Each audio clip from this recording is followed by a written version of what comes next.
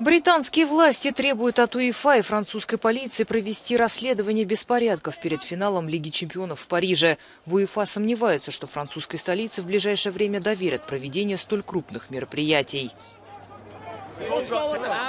Абсолютный беспорядок. Французы, их организации, УЕФА – просто ужас.